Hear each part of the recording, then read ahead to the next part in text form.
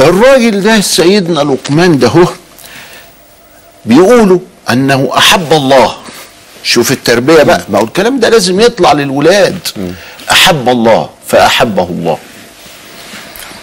نعم. حب ربنا. من قلبه من جوه حب ربنا. بيحبه يا أخي. الله. في ناس بينها وبين الله عداء. إذا ذكر الله سبحانه وتعالى اشمئزت قلوبهم. اخص عليهم. ما هوش واخدين بالهم أن هو الذي معه الدنيا والآخرة. هو الذي معه الحاضر والمستقبل. ومن توكل على الله كفاه في ناس بقى تانية لا بتحب ربنا. بتحب ربنا فربنا بيحبها يسترها معاها يرزقها يعافيها يبقى كده هو في حاجة. فواحد يقول لي طيب يعني اللي مش معافى ما بيحب لا.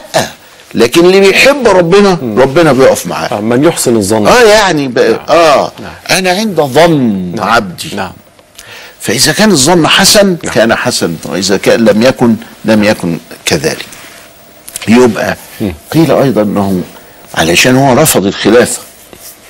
الدنيوية دي نودي بالخلافة قبل داود. سيدنا لقمان ده هو. نودي بالخلافة قبل داود وشرفه الله وعظمه عندما أطلق سورة من القرآن باسمه نعم. لقمان نعم. وإحنا نعرف هو كده يقول لك وصايا لقمان الحكيم واخد بالك. إزاي